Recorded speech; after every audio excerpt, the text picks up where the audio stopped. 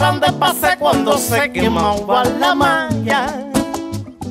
Bueno, este es un nuevo camino que estoy disfrutando recorrer y es el de colorear mis conciertos con la voz.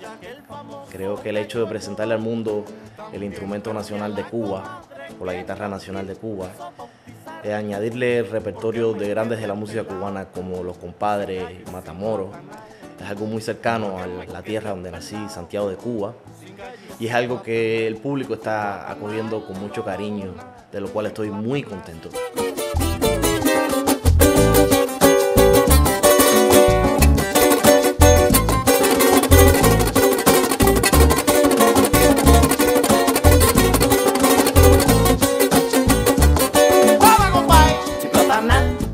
En todos los conciertos siempre es un placer decir, esta noche será Cuba de nuevo.